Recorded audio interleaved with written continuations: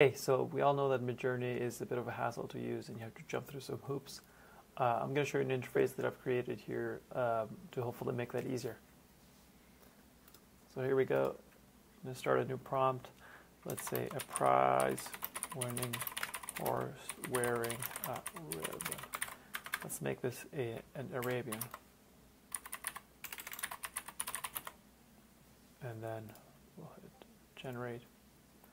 And here we'll have a percentage that'll start filling up as soon as um, the image starts generating. Right now it's pending.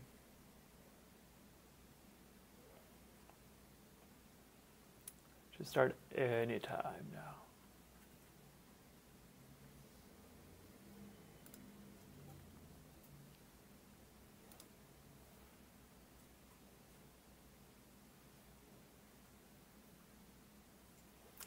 I said it should start anytime now.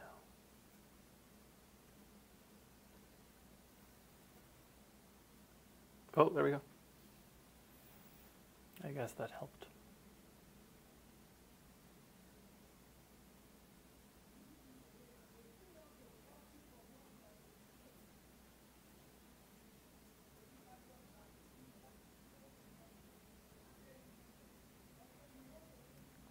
Oh, cool.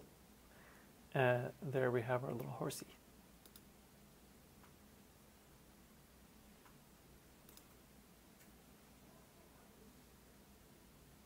There you go, that's it.